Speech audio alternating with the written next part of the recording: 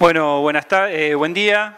Eh, muchas gracias por la invitación. Primero, ante nada, antes que, nada, a los compañeros de, UNTER, en particular a, Laura Maffei, que ya del año pasado venimos hablando para, para este, este encuentro. Y después, bueno, contar muy breve que por suerte ya de 2010 viajo eh, de manera bastante seguida a esta zona, a esta región, y entonces agradecer porque bueno, comprendo mucho y he aprendido con muchos compañeros en el territorio lo que, lo que sufre y las luchas de la región. Y quería mencionar particularmente eh, a tres espacios que me han permitido conocer mucho el territorio. Eh, por un lado, la Confederación Mapuche de Neuquén, que de 2010 eh, visito de manera regular. A la Cooperativa de Comunicación 8300, que son compañeros, periodistas, cooperativa, donde circula toda la información que muchas veces el Río Negro o la Mañana de Neuquén ocultan. Y después a la Cátedra de Soberanía Alimentaria de la Universidad del también compañeros y compañeras muy comprometidas con, otro mundo posible y, que lo hacen desde los territorios. Metiéndonos eh, en, la presentación, vamos a, vamos a intentar hacer un mapa del extractivismo de Argentina. Obviamente que van a quedar cuestiones afuera, pero bueno, después podemos ampliar en los talleres. Cuando hablamos de extractivismo no tenemos todo por qué saberlo, eh, hablamos de la extracción de recursos naturales o la exportación de naturaleza. Y hay distintas formas de llamarlo. Recursos naturales, dicen los economistas, las empresas y los funcionarios. En los últimos años se ha instalado en la academia un término que, que yo comparto, obviamente, se llama bienes comunes. Es un término que se le viene dando bastantes vueltas de rosca, muy interesante pero también me parece muy interesante rescatar las palabras que utilizan los campesinos y los pueblos originarios que llaman al río, al monte, a la montaña, nuestra vida. Esto tiene que ver con, voy a ir muy rápido una y otra vez sobre el tema del rol del periodismo, ¿no? Las palabras significan, lo sabemos todos, y ahí me parece que esas tres formas de llamarlas significan una misma cuestión, pero al mismo tiempo cuestiones diferentes. En la Argentina hay una avanzada territorial, una avanzada sobre nuevos territorios que quieren ser incorporados al extractivismo y de esa manera también al mercado hipercapitalista. Una es la avanzada territorial del petróleo, ahí siempre remarco el avance sobre la cuenca del noroeste, justamente en el norte del país, y en la cuenca neuquina, sobre toda esta cuenca. En este trabajo puntualmente uno se siente teniendo compañeros que lo están escuchando, lo están viendo, siempre recomiendo el trabajo para entender lo que es la lógica de la extracción petrolera y sus consecuencias ambientales, sociales y políticas al Observatorio Petrolero Sur. Están los compañeros acá, vamos a formar parte de discusiones. Me parece que si queremos entender de qué trata la industria petrolera, es como indispensable visitar y leer los materiales del Observatorio Petrolero. Hace tres años atrás, con amplio apoyo en el Senado, se dio la eh, expropiación parcial, extracción parcial de IPF, medida que en lo puntual me parece correcta, después podemos discutir cómo, por qué, cómo se hizo, en qué momento. Y hubo un relanzamiento de IPF, ya con el 51% en manos del Estado, para avanzar sobre nuevas regiones. Esas nuevas regiones siempre también uno dice lo mismo, no avanzan sobre Palermo o Recoleta en el centro porteño, avanzan sobre territorios y en su gran mayoría territorios rurales, campesinos y de pueblos indígenas. Los medios de comunicación, como el diario en el que trabajo, dice debe ser una causa de todos, se refiere a Vaca Muerta puntualmente. Lamentablemente este diario y otro no le preguntaron a las más de 20 comunidades mapuches que habitan en ese territorio de manera ancestral. Cuencas argentinas con potencial no convencional, el plan de IPF, Ahí muestra claramente la expansión, la exploración sobre regiones que hacía más de 50 años no se exploraban, la Mesopotamia, entre otras. Esa es una de las industrias más contaminantes, obviamente, y que el discurso empresario, político y mediático nos quiere hacer creer que es una industria que no, no tiene efectos en el ambiente. Una segunda, esta es la industria petrolera. Una segunda industria, el monocultivo de árboles, Acá en la zona de Luminé está avanzando, cerca de Junín de los Andes también, el año pasado anduvimos por ahí con algunos compañeros, pero se da puntualmente en la zona de Misiones, Corrientes y Entre Ríos. Primero se arrasa el monte ancestral, luego se genera algo que le llaman bosque, pero no tiene nada de bosque, es monocultivo con uso de agrotóxicos. Acá siempre decimos, parece un ejército, verdes, prolijos y en fila. No hay nada que tenga que ver con el bosque, no hay biodiversidad. Este es el monocultivo forestal como fue ampliándose en los últimos 15 años. En el 98 había 600.000 hectáreas, en 2012 1.200.000 hectáreas, se amplió, avanzó sobre nuevos territorios, obviamente con conflictos, y para el 2020 la proyección es llegar casi a los 2 millones de hectáreas. Los que pagan el pato obviamente son campesinos, pueblos indígenas, zonas periurbanas. Tercera industria, la minería. Un puñado de proyectos ya en ejecución o en proyección avanzada, sobre todo en Santa Cruz, Catamarca, Jujuy, San Juan.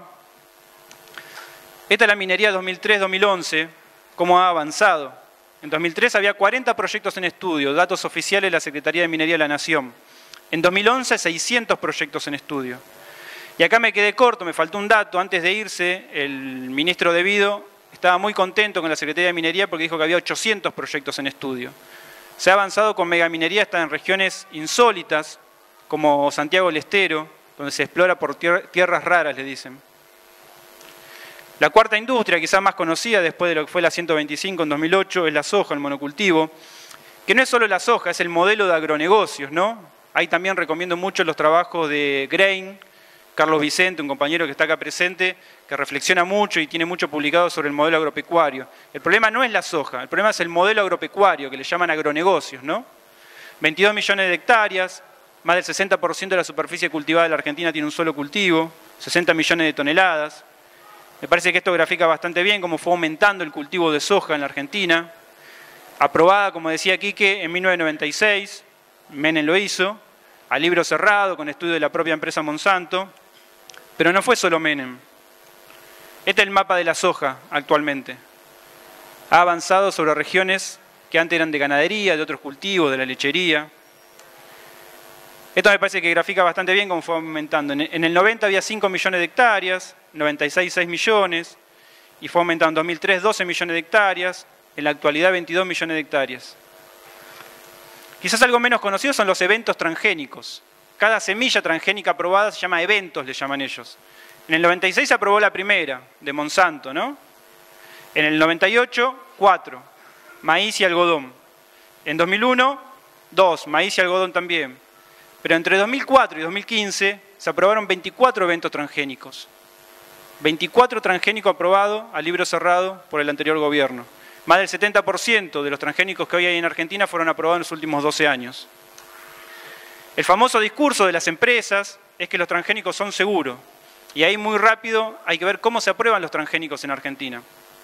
La CONAVIA es la Comisión Nacional de Biotecnología, es la que aprueba los transgénicos. Son los científicos, entre comillas, utilizo la palabra científicos.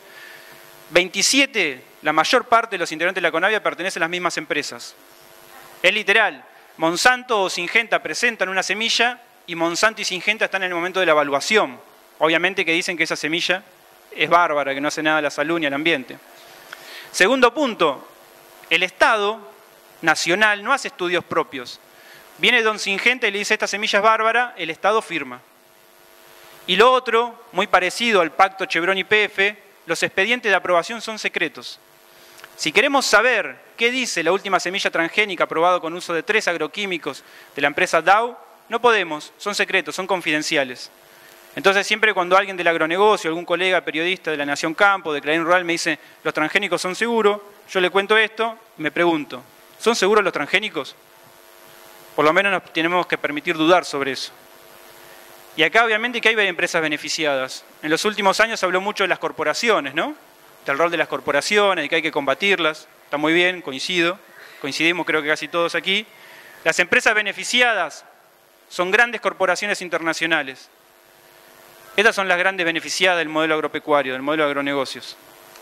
Las consecuencias, es lo que en general los funcionarios, las empresas y los medios no dicen. En el fracking, por ejemplo, la contaminación del agua subterránea, la contaminación de agua y tierra superficial y el sobreconsumo y agotamiento de fuentes de agua. Silencio del modelo petrolero, un modelo que ustedes conocen seguramente mejor que yo. El río Colorado está bajo miles de litros de petróleo. No vi nunca un medio que apoye al extractivismo decir esto, el riesgo que corren estos ríos, la contaminación ya probada. Explotó un pozo de IPF en Vaca Muerta. La sección Economía de página 12 en, Buenos Aires nos tiene prohibido escribir de manera crítica sobre los agronegocios. No sé ahora qué pasará, que cambió el gobierno, capaz que ahora se le despierta la crítica también en eso. Pero nunca pudimos contar esta contaminación de IPF. Los periodistas de esa sección nunca viajaron a Vaca Muerta, pero dicen, Vaca Muerta no va a contaminar. Y lo que yo le digo, que he aprendido con muchos compañeros de aquí del territorio, es que Vaca Muerta ya está contaminando. Este es un ejemplo de eso. Y para el que le queda dudas, hay que ir a Vaca Muerta. Hay que recorrerlo con el LOF, el Campo Maripe, la comunidad mapuche Campo Maripe. Ellos son los primeros que denuncian estos hechos de contaminación, silenciados por las empresas, funcionarios, organismos de control o de descontrol. Son todas fotos de hace dos años. Eso es IPF Chevron acá a pocos kilómetros. Otra de las consecuencias, en este caso del modelo agropecuario, 200.000 familias expulsadas del campo en los últimos años. Solo en cuatro años, datos oficiales de la Secretaría de Agricultura de la Nación, se desmontaron en Argentina a razón de 32 canchas de fútbol por hora. Llevamos dos horas acá, 64 canchas de fútbol han desaparecido de la Argentina de monte nativo. 190 millones de litros de glifosato, como decía un, un querido amigo Andrés Carrasco, un científico, por la cantidad de agrotóxico que se utiliza en Argentina, esto es un experimento masivo a cielo abierto. Y la mala noticia es que el PEA, el Plan Estratégico Agroalimentario, presentado en Tecnópolis hace tres años, por las muchas universidades, hay que decirlo, que adhirieron, muchas empresas y el gobierno provincial y nacional, impulsa aumentar la producción agropecuaria, impulsa avanzar sobre nuevos territorios.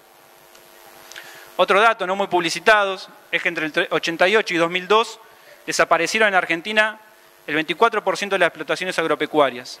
O sea, este modelo que avanza, este modelo agropecuario, hace desaparecer explotaciones agropecuarias. En general son las más pequeñas y medianas. Cuando veníamos para acá de Neuquén, la compañía que me tenía decía, bueno, estas son chacras que ya no están funcionando, me decía, ¿no? Eso también es el modelo agropecuario. El datos del INTA, el 2% de las explotaciones agropecuarias de la Argentina concentran el 50% de la tierra cultivable. Y el 57% de las explotaciones agropecuarias de las chacras tiene solamente el 3% de la tierra. O sea, muy poquitos tienen casi todo y muchísimos no tienen casi nada. En Argentina se da una reforma agraria, pero al revés. Otro dato puntual, lo que decíamos recién, los desmontes, 32 hectáreas por hora, van desapareciendo, se mantiene esto. Los efectos en la salud, Córdoba, detectan más casos de, de cáncer en zonas fumigadas. O casualidad, donde más se usa agroquímicos, en toda la pampa gringa de Córdoba, la zona este de Córdoba, donde se multiplicaron los casos de cáncer. Pero ¿qué dice el agronegocios? Que no, que no tiene nada que ver. Lo más preocupante que dice el ministro de Ciencia, referente, Lino Barañao, de las empresas transgénicas, dice, el glifosato es como agua con sal. O como dijo antes de ayer en página 12, el glifosato es como cualquier antibiótico. Sería interesante que el ministro vaya con su familia a un campo fumigado a ver si es como cualquier... También en Chaco, otro efecto o coincidencia, en las zonas más fumigadas zonas con más casos de cáncer y discapacidad. No son casualidades. Esto es un trabajo muy interesante de compañeros y científicos de la Universidad Nacional de Río Cuarto. Eh, estudiaron a niños afectados en zona de fumigación y confirmaron daño genético. ¿Qué es el daño genético? El daño genético es la antesala del cáncer. A cuanto más daño genético tenemos, más probabilidad de contraer cáncer, entre otras enfermedades. Científicos de la Universidad Nacional de Río Cuarto lo han confirmado. Y entre las consecuencias, bueno, acá está también hoy lo mencionaban el compañero Damián Berseñasi, más de 20 campamentos sanitarios en distintas regiones de la Pampa húmeda, donde confirman los efectos de las enfermedades, seguramente después lo va a comentar Damián. Y las consecuencias no menores, este es un modelo que conlleva represión. Esto le debe sonar muy conocido. La última estocada, la última firma para aprobar el pacto secreto entre Chevron y PF se tenía que dar en la legislatura de Neuquén. Una represión de más de seis horas, muchos seguramente que están acá estuvieron sufriendo esa represión. No tuvo empacho el gobierno provincial y luego felicitado por el gobierno nacional de durante más de seis horas de haber reprimido a la población, que lo que pedía era que no decidan por ellos. Acá un concepto que volcó recién también Enrique, cada zona que se dedica al extractivismo es una zona de sacrificio. Vaca Muerta es una zona de sacrificio. Las zonas ojeras son zonas de sacrificio. Pero al mismo tiempo, las poblaciones que están en esos lugares son zonas de sacrificio. Muchas veces decimos lo mismo. ¿Por qué no se hace minería en Palermo Recoleta? ¿Por qué no se hace fracking en el Calafate? ¿Por qué no se hace eh, minería también en los countries de la zona norte de Gran Buenos Aires? No, esas no son zonas de sacrificio. El modelo extractivo en la represión. Solo en Neuquén, más de 350 mapuches judicializados por defender el territorio, acusados de usurpadores del territorio donde siempre han vivido. Catamarca minera, Catamarca es el paradigma de las falsas, de las falsas promesas mineras. Hace 20 años está Minera Lumbrera, el primer gran megaproyecto minero. Hechos de violencia son cotidianos. Cuando el pueblo se organiza, resiste, la respuesta del Estado y las empresas. Esto fue transmitido en directo por el canal TN en Buenos Aires, en Tinogasta. Y muy importante aquí también, el otro medio que siguió cubriendo el tema fue la radio El Algarrobo, de los compañeros de Catamarca, de Andalgalá. La gran función, ahí veo compañeros de medios comunitarios, populares, alternativos. Lo que los grandes medios silencian sabemos que muchas veces pasa justamente por estos medios comunitarios, cooperativos.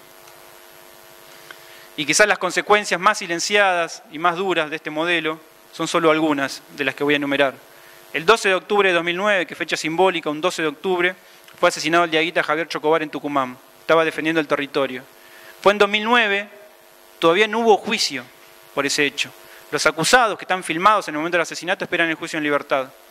El 13 de marzo de 2010, Sandra Eli Juárez, una joven campesina de 33 años, Santiago del Estero, murió de un paro cardíaco cuando una topadora quería arrasar su monte ancestral.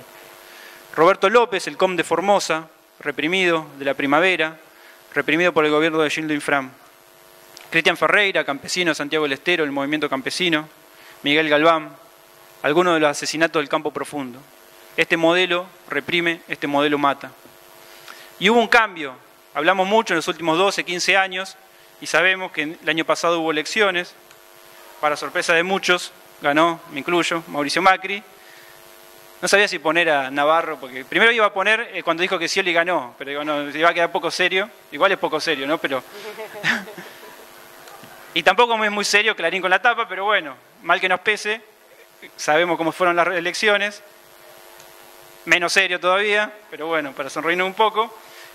Lo malo viene ahora, para dejar de sonreír, que hubo anuncios y medidas del gobierno en estos pocos meses que lleva Macri anunció la quita total de retención del trigo, maíz, soja, eh, sorgo, girasol y carnes y bajó un 5%, un 5 puntos la de la soja. 60 mil millones de pesos tiene esa medida. Le saca a algunos, otros tienen que pagar, obviamente, ya saben, todos vivimos la coyuntura diaria. Y no solo eso, sino que también le sacó la retención la megaminería, que ya dejaba muy poco y ahora deja menos. Interesante, viajó. Este es un medio del sector, es muy interesante leer los medios mineros o sojeros. Mini Empress es un medio del sector minero, celebra, dice adiós retenciones.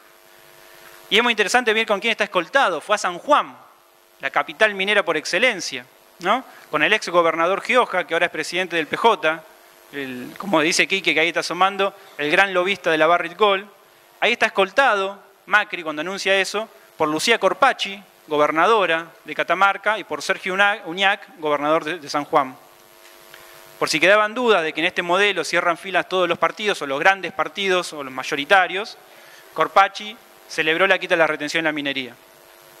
Hasta ahí como un, pantallazo del modelo minero.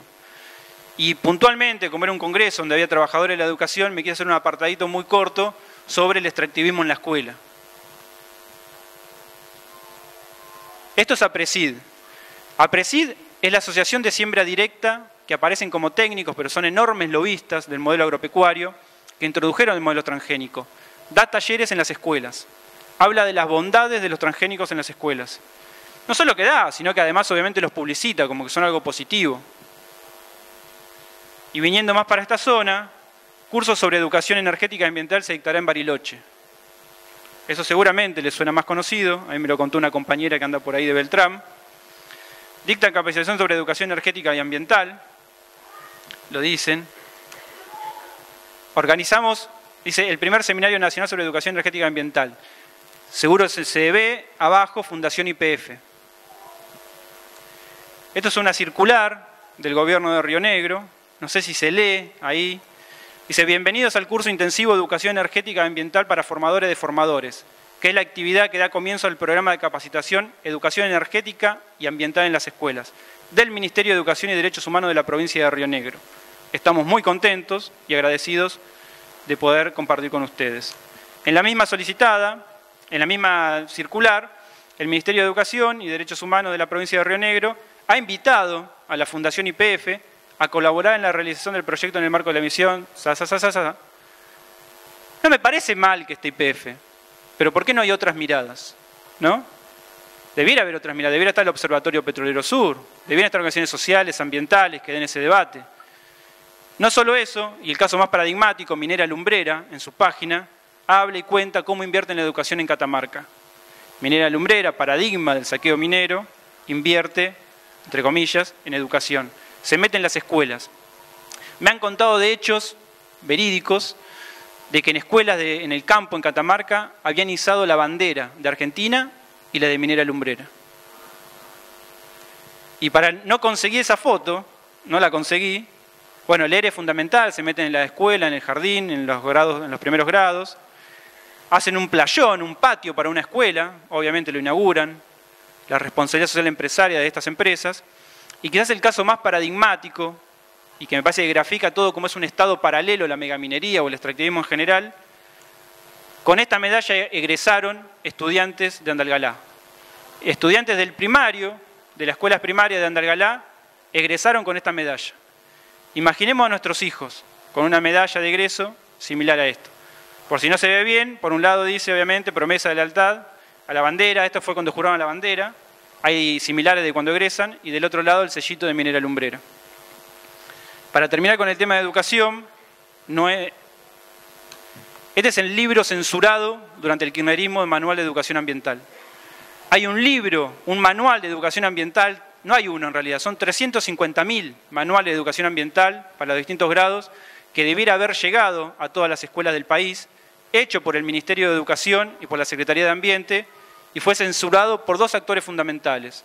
El gobernador de San Juan, el entonces gobernador Gioja, que operó por la cuestión minera, y APRESID, que son los que ahora dan talleres por la cuestión del monocultivo.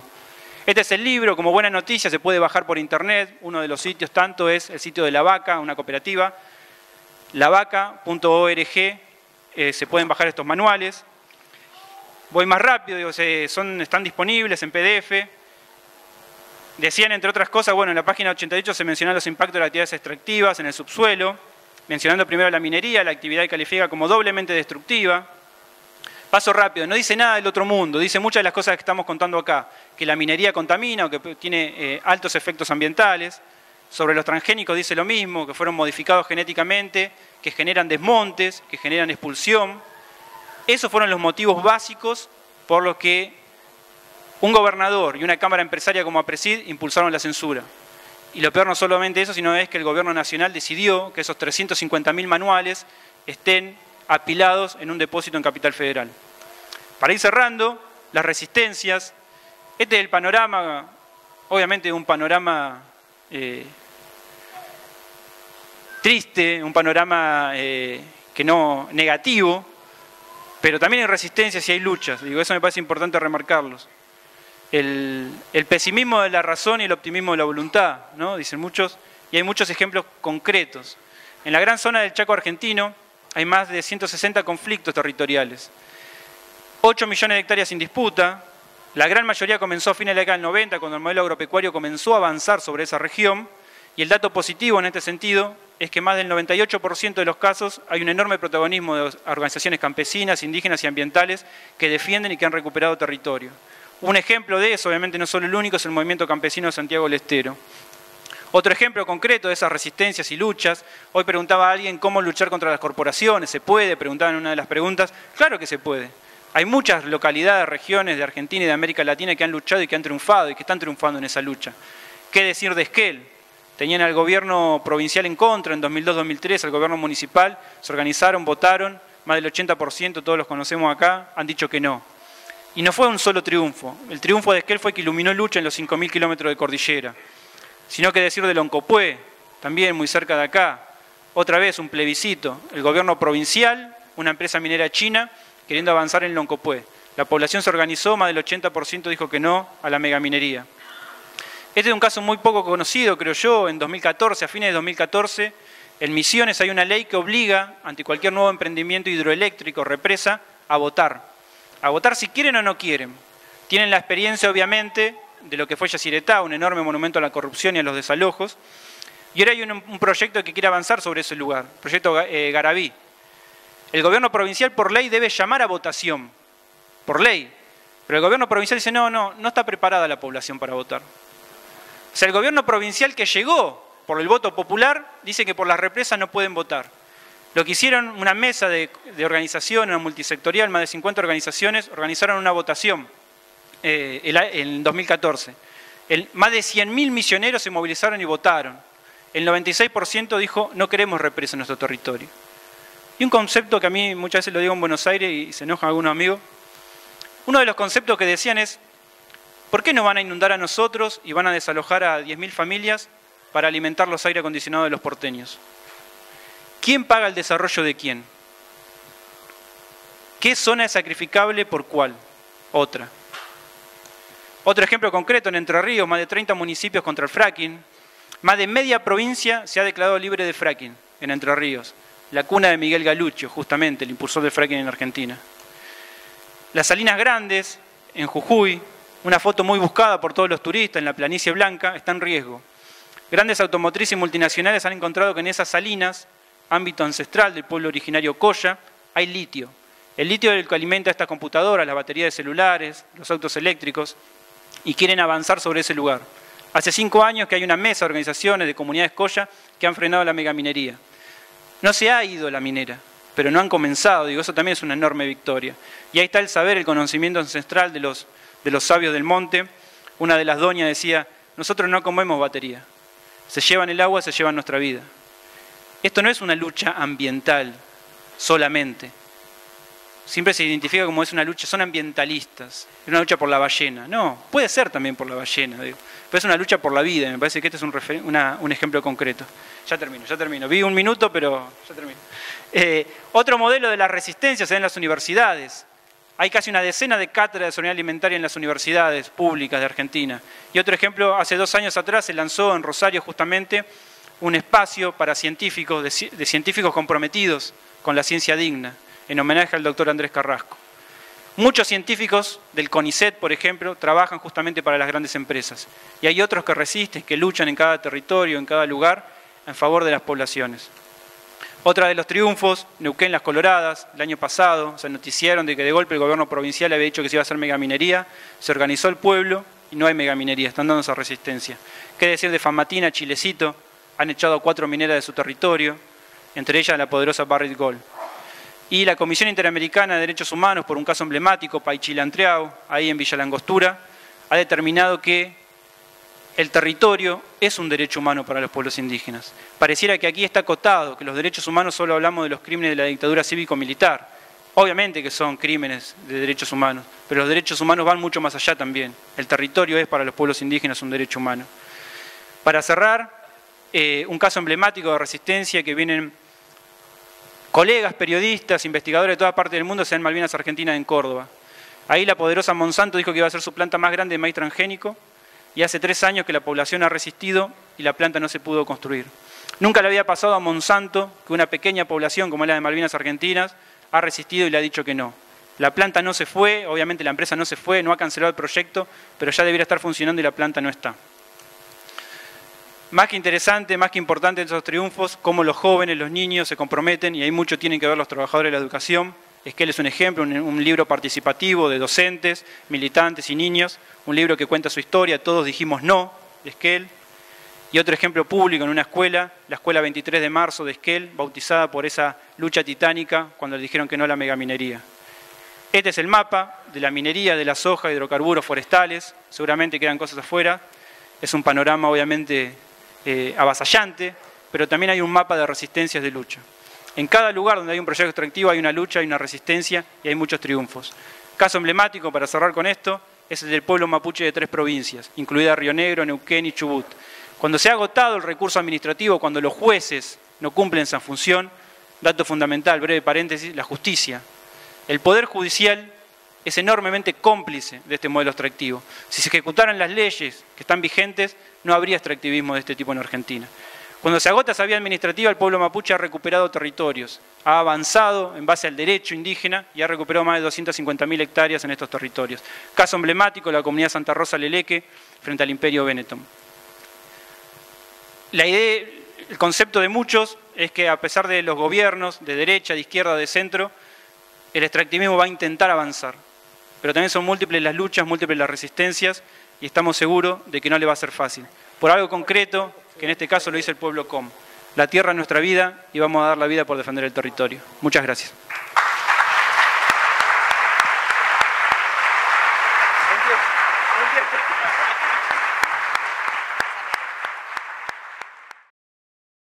Buenos días, buenas tardes a todos, a todas. Muchas gracias por la invitación a UNTER. Es, eh, un honor y una gran satisfacción estar aquí. Eh, como me han precedido mis colegas Enrique Viale, Darío Aranda, mi interés en esta presentación es hacer un panorama más conceptual, tratar de eh, volver sobre esos conceptos que ellos han deslizado ilustrado y también tratar de eh, dar cuenta de una perspectiva latinoamericana sobre la problemática del extractivismo. Entonces, en ese sentido voy a aprovechar el tiempo que tengo para hacer una presentación en tres momentos. En la primera quisiera subrayar cuáles son las claves que ordena mi lectura. En la segunda parte quisiera abordar el debate sobre el desarrollo y qué conceptos están en pugna. Y en la tercera y última quisiera hablar sobre los saberes críticos que existen en América Latina y la agenda de derechos humanos. Para comenzar entonces, eh, como introducción, los cuatro temas ordenadores eh, que en todo caso me parece son esenciales para hacer una lectura sobre las luchas contra el extractivismo y las nuevas problemáticas socioambientales son, por un lado, la noción de ciclo político, por otro lado, la de doble dinámica del capital. En tercer lugar, la de nuevos debates y, por último, la de este, la nueva agenda de derechos humanos. Ciclo político, ¿por qué? Porque en realidad a mí me parece importante también tratar de dar cuenta, ya que han pasado varios años, 15 años, desde la expansión del extractivismo, que efectivamente las bases de los distintos modelos extractivos se sentaron o se asentaron en la época del neoliberalismo, pero se expandieron en los últimos 15 años, sobre todo a partir de 2003, cuando se da el boom, el alza del precio de los commodities a nivel global, que hace que efectivamente todos los países que puedan exportar materias primas aprovechen estas ventajas comparativas del mercado internacional. Paralelamente a esto, asistimos, por supuesto, en el año 2000 o 1999, si ustedes quieren volver al caso de, Chávez en Venezuela, a un cambio de época que en América Latina suscitó enormes expectativas políticas acerca de la posibilidad de repensar la relación entre sociedad, política y economía. Lo que quedó fuera, muchas cosas, en, eh, nuevo, en ese intento de reforma. A partir entonces del año 2003 eh, arrancamos con lo que he denominado el consenso de los commodities, que está ligado precisamente a esta, a esta alza, a este boom del precio de las materias primas y que es algo común o que comparten tanto los gobiernos neoliberales como los gobiernos progresistas, más allá de las diferencias o el espacio de geometría variable en el cual se inserte sobre todo el Estado. Estamos casi llegando a un final de ciclo. De hecho, a partir de 2008, gran parte de la literatura latinoamericana ha comenzado a leer mucho menos en términos de nueva izquierda a estos gobiernos y mucho más en términos de viejos modelos de dominación al estilo populista. Más allá de lo que entendamos como, como populismo, no es mi lectura este, estigmatizante, es una lectura que busca dotar de complejidad a ese término, el caso es que se han dado fabulosos procesos de concentración de poder, no solo económico, sino también político, al compás de la expansión de estos gobiernos. El final del ciclo 2015-2016 nos confronta hacia una realidad bastante desoladora luego de haber sostenido diferentes este, expectativas políticas, que es la de un giro hacia la derecha, donde Argentina es la ilustración pionera seguida de Brasil y muy probablemente prontamente lo será Venezuela. Entonces, es en el marco de este ciclo que se ha dado la expansión del paradigma extractivista en América Latina. Perdón, pero ¿cuál es la anterior? Sí, pero el anterior. Acá. Ah, no, sigue después. Entonces, la gran paradoja de este periodo es que estamos, eh, o que fue un periodo de expansión de los derechos, efectivamente, Hubo derechos, derechos del trabajo, derechos sociales, derechos de las llamadas minorías que fueron reconocidos, pero al mismo tiempo, al compás de la expansión de las fronteras del capital, ha habido una fuerte tendencia al cercenamiento y despojo de derechos territoriales, ambientales y sin duda que repercuten en derechos políticos y civiles. Entonces, la gran paradoja latinoamericana es esta, esta tensión que al compás de esos 15 años comienza a devenir contradicción en la medida en que esta colisión entre la expansión de derechos y la expansión del capital genera cada vez más conflictos socioterritoriales o socioambientales en todo el territorio latinoamericano. Hablamos de la doble dinámica del capital también, que es importante tenerlo en cuenta. Sobre todo, en los gremios hay una tendencia a pensar que la dinámica del capital tiene una sola dirección y es la que confronta capital con trabajo y se expresa a través de la sobreexplotación, la explotación o inclusive, podríamos decir, la precarización y hasta el desempleo. ¿no? Pero no hay que olvidar, Marx lo decía, hablaba en el Capital, pero también Rosa Luxemburgo, que es necesario hablar de otra lógica, otra dinámica del capital, que sin duda ha avanzado enormemente en las últimas décadas, que tiene que ver con el avance de este sobre los territorios, sobre lo que llamamos los bienes comunes, como bien dijo acá Darío, que implica desposesión, destrucción y expoliación de esos bienes. Estamos en un periodo en el cual esa doble dinámica del capital nos plantea sin duda desafíos enormes. En ese sentido, una cuestión fundamental que en Argentina sobre todo ha sido obturada durante 12 años de kirchnerismo es que tenemos una agenda frondosa en relación al tema de derechos humanos. No solo la agenda tan terrible que reenvía al terrorismo de Estado y que ha implicado a través de los juicios a los represores un modelo ejemplar, no solo también el tema de la violencia institucional ligado a la criminalización de la pobreza y de la juventud, sino también todo lo que tiene que ver con derechos de los pueblos originarios y lo que tiene que ver con extractivismo, territorio y democracia, que nos plantea no una tan nueva agenda, porque la de pueblos originarios no es nueva, pero en todo caso nuevos desafíos desde el momento en que la lógica del capital plantea un arrinconamiento de esas poblaciones campesinas e indígenas y además nuevas lógicas de extracción y disposición de los territorios de manera general.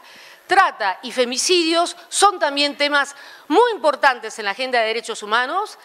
También hay que ver la ruta del extractivismo, en qué medida, en qué medida también fomenta estos dos graves problemas en la sociedad contemporánea. Entonces, para cerrar este primer punto, lo que es esencial es que estamos en un periodo de ambientalización de las luchas, para citar a, Enrique Leff, quien habla también no solo de ambientalización de las luchas, sino también de la emergencia de un nuevo pensamiento ambiental en América Latina. Estamos ante la expansión de la globalización financiera y comercial a través de megaproyectos extractivos.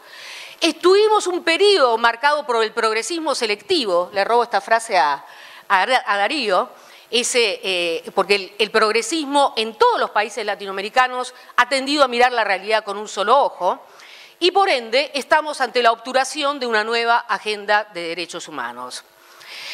Es en este marco que uno de los grandes debates contemporáneos es el debate sobre el desarrollo. Y la noción misma, la idea de desarrollo, es una idea que atraviesa el pensamiento social, económico y político de América Latina desde 1940-1950. Es un concepto límite y ordenador que al tiempo que aparece como programa económico, se erige también como promesa emancipatoria. La ilusión del desarrollo ha recorrido numerosas experiencias políticas en América Latina, lo que se llamó, por ejemplo, el neodesarrollismo. En ese sentido, es importante tener en cuenta que el desarrollo ha configurado varios campos problemáticos. Una cuestión o un campo problemático se configura a partir de la relación entre desarrollo y progreso. Y ahí vemos emerger el paradigma dominante, un paradigma netamente economicista, un paradigma productivista, esto es, que considera que la producción es un fin en sí mismo y apuesta al crecimiento indefinido o ilimitado, y por otro lado, un campo problemático en el cual se relacionan o se tensionan la noción de desarrollo con la de naturaleza.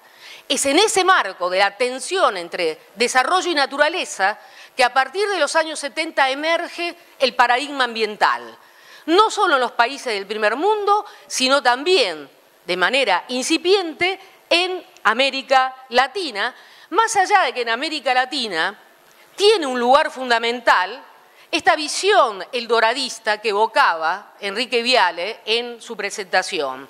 ¿Por qué visión eldoradista de la naturaleza?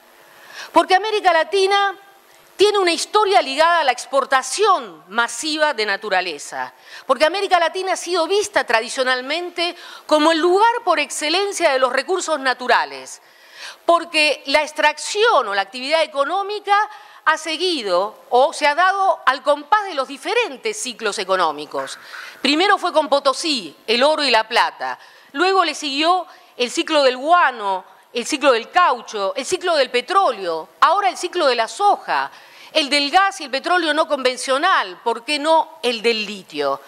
Al compás de esos ciclos económicos, América Latina aparece como exportadora masiva de naturaleza y, por supuesto, va concibiendo este imaginario que asienta la idea de que efectivamente explotando o sobreexplotando ese recurso que está exigiendo el mercado internacional, podremos acortar significativamente las distancias con los países del primer mundo y por ende podremos desarrollarnos. Es decir, se alimenta un imaginario mágico casi del desarrollo inmediato.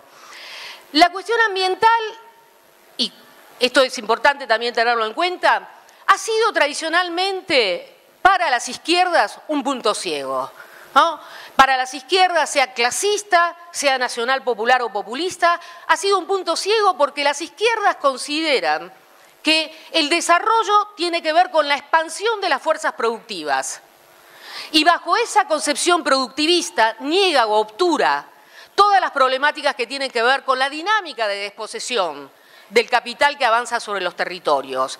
Entonces, ese punto ciego es el que hemos tratado tantos acá tenemos tantos docentes como Marta Maffei, que ha hecho, digamos, este, que es una de las pioneras, pero hay tantos pioneros en Argentina y en América Latina que han buscado abrir esta discusión en el seno de las izquierdas para poder incorporar esta problemática que tiene que ver con la desposesión y que coloca en el centro, hoy cada vez más, los conflictos ambientales. Mucho más si tenemos en cuenta, volviendo al inicio del ciclo, que a partir del año 2000 y de 2003, con el boom de los commodities, la noción de desarrollo, el concepto de desarrollo como gran relato estructurador de la modernidad, vuelve a estar en el centro de la escena. Vuelve a estar como discurso hegemónico, como discurso dominante, que impone un tipo de lectura determinada. Hay entonces una perspectiva hegemónica sobre el desarrollo, ¿no? Que tiene sus matices, en el sentido de que hay variantes significativas, uno podría decir, entre la visión neoliberal y la visión neodesarrollista que sostiene el progresismo selectivo latinoamericano. Pero hay muchos elementos en común. Y entre los elementos en común que hay está esta visión productivista que no piensa la finitud de los recursos naturales, que cree en el progreso indefinido o en el crecimiento ilimitado, y que considera que los bienes naturales son commodities, esto es, que son, en ese sentido, materias primas o productos primarios estandarizados que tienen un valor determinado en el mercado internacional. A lo más, como en el caso de los gobiernos progresistas, acuñan la noción de recurso natural estratégico para subrayar el rol central que tiene el Estado en la captación del excedente, en la captación de la renta diferencial. Por supuesto, también hay un discurso débil de la sustentabilidad. Cuando sabemos, los que hemos indagado sobre el paradigma ambiental, que hay distintas lecturas sobre la sustentabilidad, vemos que tanto las grandes empresas, las corporaciones como los gobiernos han adoptado una concepción débil de la sustentabilidad que sobre todo subraya o lo que hace subordinar la naturaleza al desarrollo a la, lógica del mercado y, por supuesto, al discurso de la modernización ecológica, que cree que los efectos nocivos de la modernización van a ser controlados a través del desarrollo de más tecnologías, de las llamadas tecnologías limpias. Esa confianza también ciega en la ciencia está por debajo de este discurso hegemónico. Ha sido aquí nombrado la noción de responsabilidad social corporativa o empresarial, que es uno de los grandes temas de las, empresas hoy en día, tanto hacia adentro en relación a la comunidad como hacia afuera. Porque, como dice mi colega Mirta Antonelli, hay toda una producción sociodiscursiva de las empresas que contrata sociólogos, antropólogos, periodistas, para convencer a la población que el único destino posible es el fracking, la megaminería, la soja o una mega represa. Entonces, efectivamente, este, esta perspectiva hegemónica, más allá de las diferencias, ha hecho, ha construido un lugar común entre el progresismo neodesarrollista y la perspectiva neoliberal. Hay también, y acompaña esto, o mejor dicho, cuestiona esta visión, lo que de manera genérica se llama en América Latina la perspectiva postdesarrollista, o si ustedes quieren, la crítica al neoextractivismo, que insiste en ese en, el elemento primero de este proceso de ambientalización de las luchas sociales, no solo indígenas, sino en líneas generales, abarca, es, poliétnica, podríamos decir, abarca a, grandes poblaciones, y ha ido conformando un campo crítico en el cual encontramos diferentes conceptos. El de neoextractivismo, el de consenso de los commodities, el de mal desarrollo, los lenguajes de valoración de los territorios y, por supuesto, por supuesto, la idea de saberes críticos. Yo voy a ir muy rápido sobre eso. ¿Cuánto tiempo voy? Listo. El concepto de neoextractivismo o de extractivismo aquí ha sido este, varias veces evocado. Es importante tener en cuenta que es un concepto que no es solo parte de la literatura digamos, de las ciencias sociales, sino que son los propios actores o protagonistas, de las luchas quienes han adoptado, incorporado esta noción de extractivismo o neoextractivismo, que es un concepto que irradia sin duda mucha potencia, tiene una gran capacidad de movilización y que designa, sobre todo, ¿no? la sobreexplotación de bienes naturales, la gran escala, la orientación a la exportación, la tendencia a la monoproducción o al monocultivo, el acaparamiento de tierras y también, no hay que olvidarlo, es un modelo de acumulación vertiginoso que avanza, se multiplica, sus números de proyectos se van multiplicando y avanza de manera acelerada sobre los territorios. Por eso, cuando hablamos de neoextractivismo, incluimos diferentes actividades, como puede ser la mega minería, el agronegocios, las mega represas al servicio del sector extractivo, la expansión de la frontera forestal, el extractivismo urbano o la urbanización neoliberal, en fin, seguro que se me ha quedado el fracking, ¿cómo olvidarlo? El consenso de los commodities es el otro concepto que, como ya ha sido evocado, no voy a volver sobre él, es un concepto provocador, pero lo que intenta es poner a luz esta idea de que efectivamente del lado del discurso dominante o hegemónico, lo que hay es una necesidad de obturar cualquier discusión diciendo que no hay alternativa, que la dinámica del extractivismo es irreversible, que América Latina o los países latinoamericanos no tienen otra opción y ese es su destino. Y como tal, cualquier tipo de oposición a ello se revela como irracional este, o es típica de fundamentalistas que es algo que vemos sin duda este, muy generalizado. Otro concepto que hemos este, presentado en diversas oportunidades es el de mal desarrollo, que es un concepto que tiene una larga historia. Tiene una larga historia que viene en los años 70, ya con Celso Furtado, un economista que rompió con el desarrollismo de la CEPAL y que ya subrayaba la disociación entre desarrollo y modernización para poner, digamos, este, en evidencia los problemas que tenían que ver con la estructura de desigualdad de las sociedades latinoamericanas. Hay numerosa bibliografía sobre eso. Samir Amin escribió, han escrito también europeos sobre el tema. Bandana Shiva, que es una física y ambientalista hindú, muy conocida, que va a estar prontamente en nuestro país, es quizás la que le dio una vuelta de tuerca geopolítica al concepto de mal desarrollo para designar precisamente que luego del final del colonialismo, el postcolonialismo viene de la mano ¿no? de esta colonización por parte de las categorías económicas europeas que avanzan en términos de modelo de desarrollo arrasando las economías locales de la mano de sus socios locales. ¿no?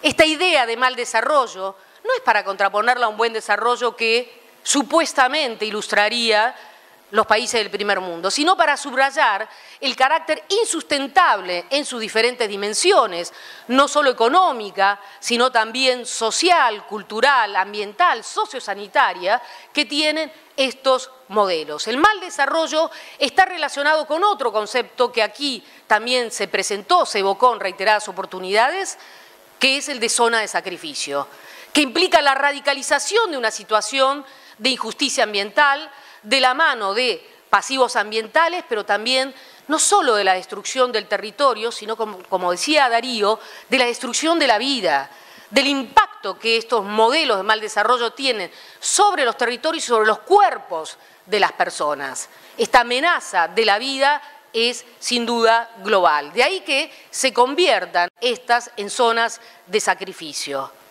Noción que no es solo territorial. Voy a pasar por alto esto.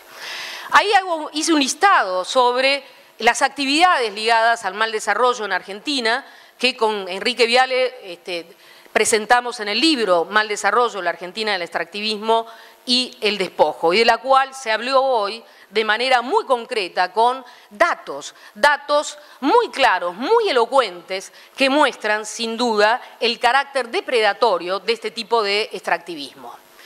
Sin embargo, más allá de eso, en América Latina no solo hemos visto emerger, digamos, una serie de movimientos territoriales, socioambientales, con diferente potencia según los escenarios nacionales, sino una serie de saberes críticos que hoy están disponibles para todos. Y esto me parece importante subrayarlo en un congreso de docentes, este, que quizás no tengan, en todo caso, el listado completo de esas disciplinas que de manera también interdisciplinaria hoy están indagando la problemática del desarrollo de manera crítica, buscando plantear alternativas al mismo buscando plantear otra racionalidad ambiental, otro tipo de relacionamiento entre la sociedad y la naturaleza. Los aportes de la ecología política, con Enrique Leff, los aportes de la economía ambiental, tenemos en la Universidad del Comahue, aquí cerca nomás un departamento, este, eh, con eh, Adriana Giuliani, que eh, trabaja muy bien ese tema, la geografía crítica, que piensa todo el tema de la tensión de territorialidades, que tiene sobre todo a los autores brasileños como los más importantes, la antropología crítica, que es la que rompe con la ontología dualista, de la modernidad, esto de pensarnos como separados de la naturaleza, ¿no? Y plantear que hay otras visiones que plantean una relación, ¿no? Un relacionamiento diferente entre el hombre y la naturaleza. Eso es importante tenerlo en cuenta porque efectivamente ha habido un monopolio de la representación en la relación sociedad-naturaleza de la visión antropocéntrica, dejando de lado las visiones biocéntricas que diferentes pueblos, sobre todo originarios, en América Latina y en otras latitudes presentan.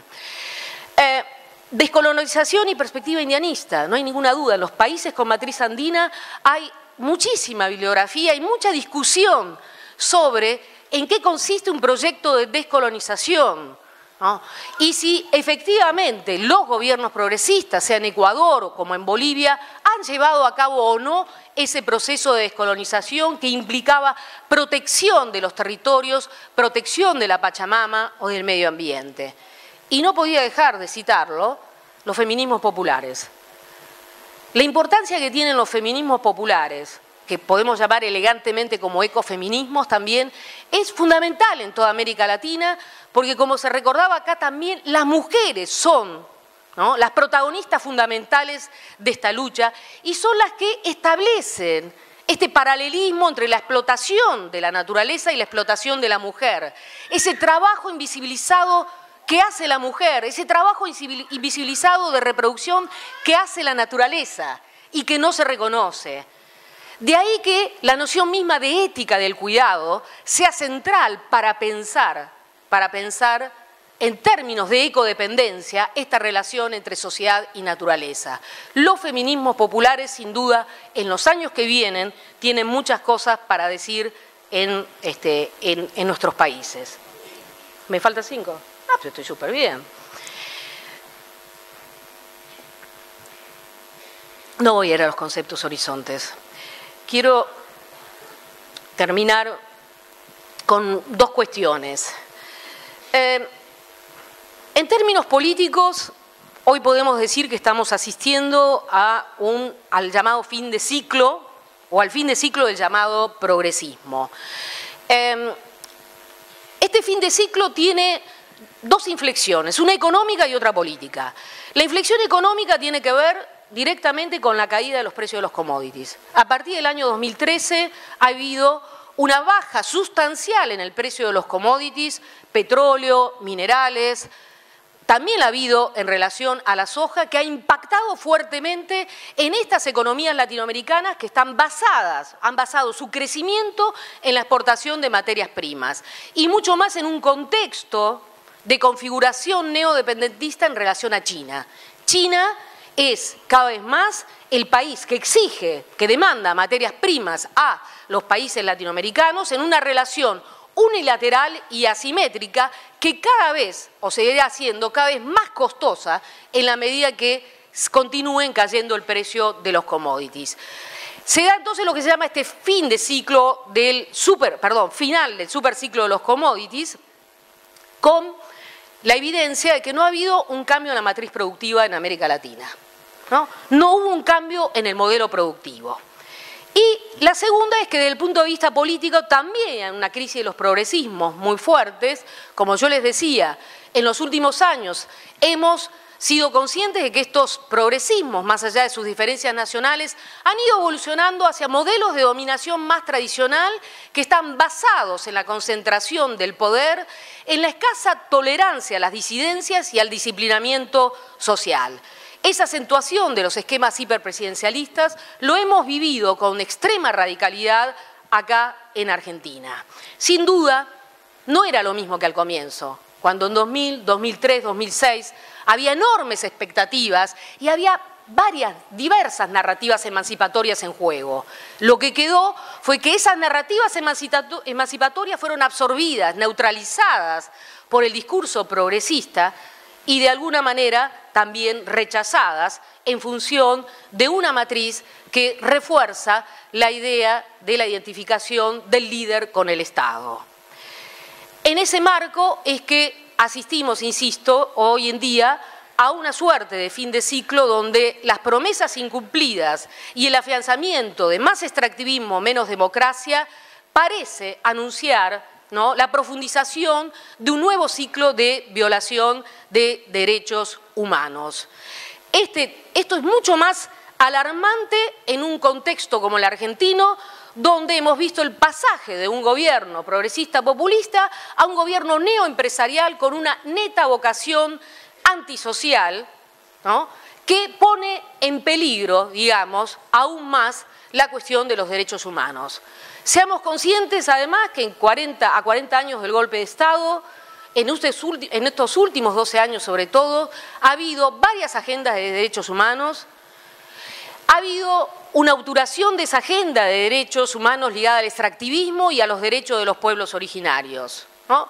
El kirchnerismo hizo todo lo posible por obturarlo y por monopolizar el discurso de los derechos humanos, identificándolo al tema del terrorismo de Estado y el juicio a los militares. La cuestión es que, efectivamente, estamos en un cierre de ciclo y en la apertura de uno nuevo, en donde esta doble dinámica del capital nos muestra mayores peligros, porque por un lado hay un reforzamiento del extractivismo, habrá más extractivismo en ese sentido y menos democracia, pero al mismo tiempo también hay una amenaza clara a los derechos sociales, el derecho al trabajo, derechos elementales también que parecían, que parecían al menos eh, relativamente asegurados. Esa doble agenda de derechos humanos es la que efectivamente tenemos que tomar y yo creo que los que tienen un rol fundamental para atender puentes e interconectarla son los docentes. Muchas gracias.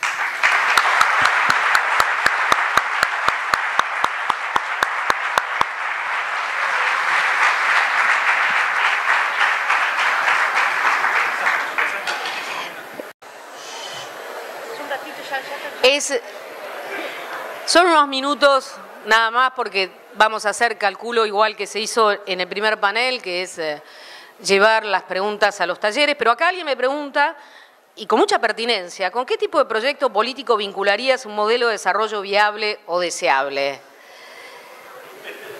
Es efectivamente la gran pregunta en la cual eh, al menos eh, algunos están, estamos pensando y nosotros creemos que la, posibilidad de eh, realizar un modelo eh, viable, sustentablemente este, deseable mm, y, por supuesto, social y políticamente igualitario, eh, interpela a las izquierdas.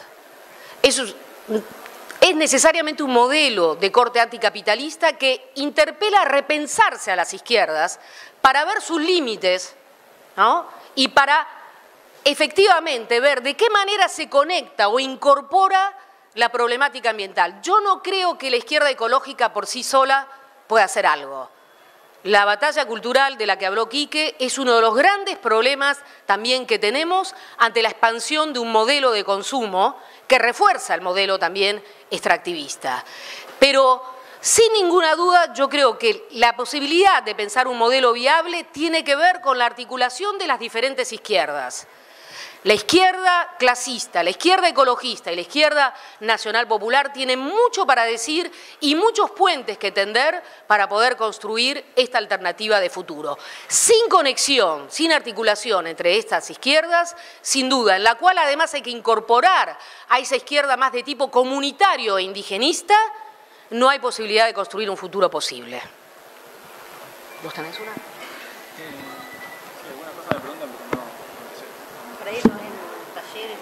Sí, algunas preguntas que hay que me parece que también son más quizás para talleres. Me dicen, ¿qué opinamos de Robert Morán, el hidrogeólogo que vino hace poquito por el tema de Barrick? Me dicen si es honesto trabaja para las grandes empresas. La verdad que, a mí me, queda grande la respuesta. Eh, me parece que en los talleres van a, salir esos debates y se va a poder explicar qué vino a hacer este hidrogeólogo, están los compañeros de San Juan además.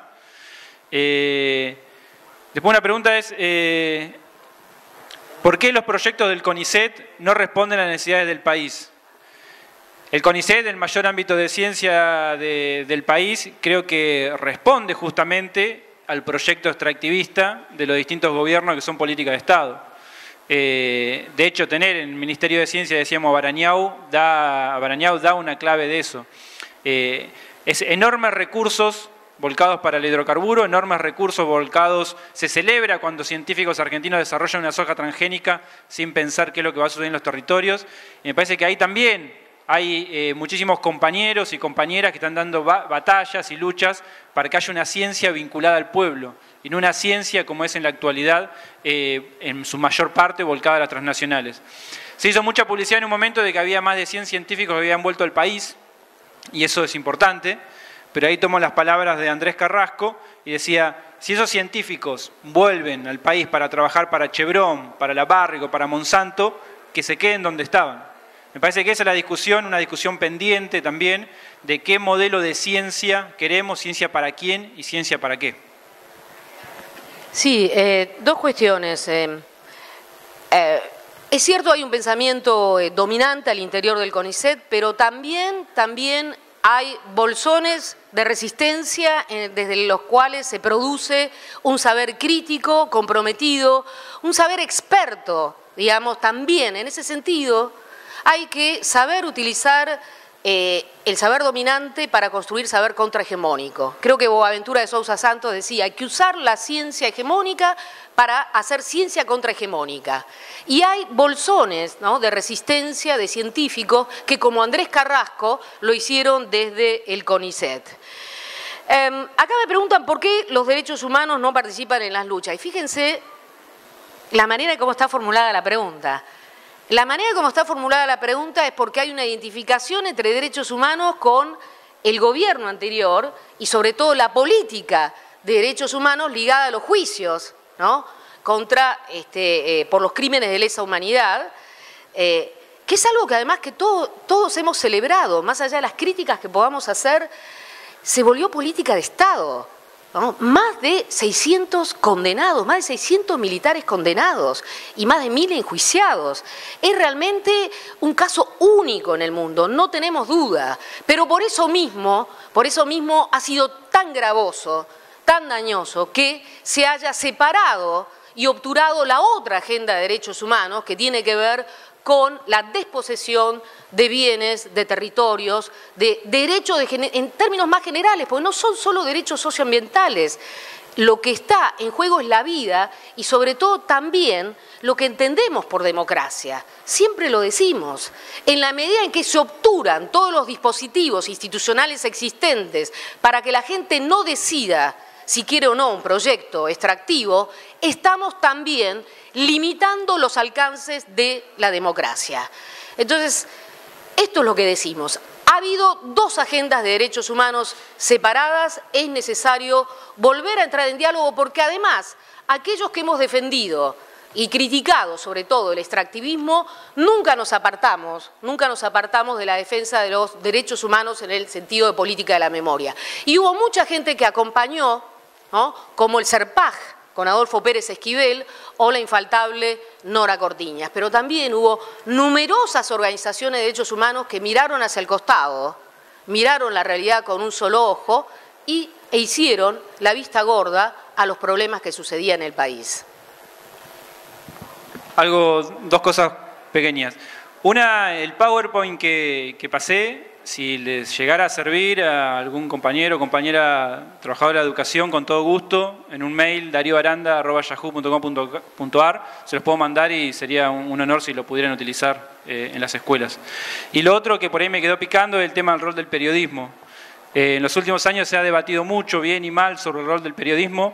Acompañamos desde estudiantes de periodismo la ley, la ley de medios y también cuestionamos duramente el incumplimiento del anterior gobierno para con la ley de medios, que en los años que, estuvo vigente se demostró que era más que nada para su pelea personal, su pelea puntual con, Clarín y otros medios, y no para la aplicación del 33% que le corresponde a los medios eh, comunitarios, populares y alternativos.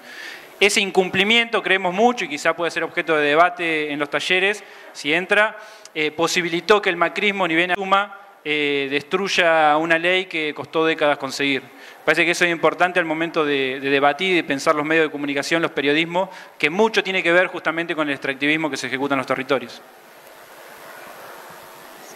Sí, cerramos.